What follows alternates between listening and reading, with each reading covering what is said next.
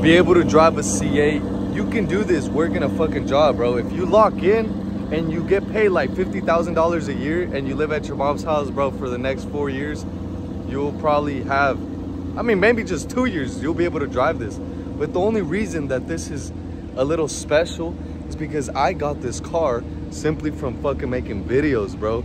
I made videos on TikTok, one minute long, they got paid out, and that's literally what I was able to achieve. Plus much more. That's the reason it's special, bro. And you probably watching this video and wondering, what the fuck do I need to do? This what you do, bro. Go create videos, one minute long on TikTok. They pay you out a $1,000 per million views. A million views is not that hard if you know what I know. Go comment down below C8 and then click the link in my bio, join the free Discord or the paid Discord, bro. I will start off with the free one. Then as you start learning, you remove the L, earn, and then pay the $11 to get in the VIP Discord. But you know what you need to do, bro. Every day is Monday.